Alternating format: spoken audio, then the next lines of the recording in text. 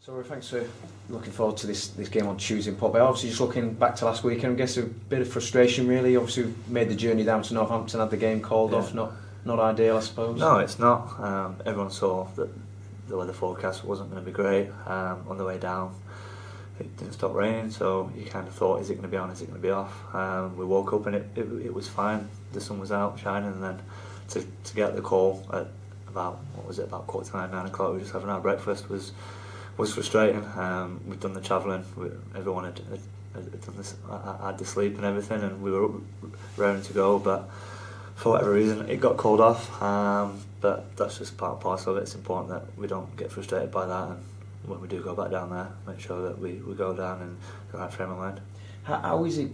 You get your frame of mind right as you said that? But you're going down on the games. you you can see the rain, you know, falling from the sky. You, half you thinking, is it going to be on? Is it going to be off? You know, how, how, how are you preparing? Really, obviously, you're trying to stay professional, but you know in the back of your Yeah. mind that obviously pitches can only take a certain amount They of rain. yeah. It is, it is frustrating, as you said.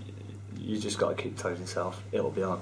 Obviously, we're travelling down, so the pitch must be all right. Um, so as far as we were concerned, um, it's on, and if it was going to be on, we knew that it'll probably be a bit of a scrappy game.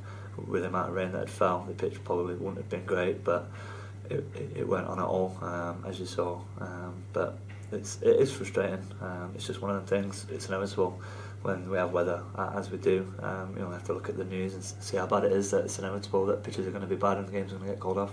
But the, the good thing is, I suppose, obviously, any frustration we had from the weekend, it can be can be taken out quite quickly. We've got the game on Yeah, Tuesday night. Tuesday, yeah, that, that's the thing with Saturday Tuesdays. Um, it generally always has a positive. If if you win on the Saturday, then the, the next game's here straight away.